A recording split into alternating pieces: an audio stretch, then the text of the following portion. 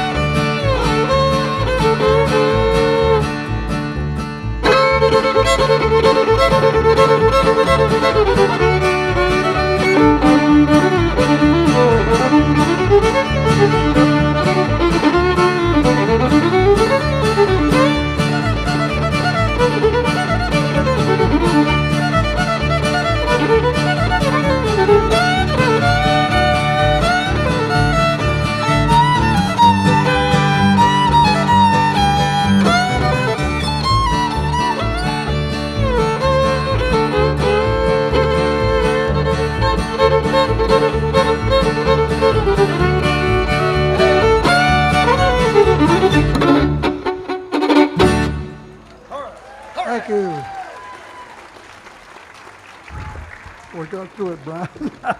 That's good.